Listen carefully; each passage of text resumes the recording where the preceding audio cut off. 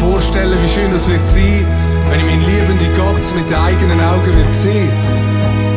Aber aus eigener Kraft könnte ich es nie dorthin schaffen. Nur Jesus hat die Macht, um mich zurück zu Gott zu bringen. Darum bete ich ihn an.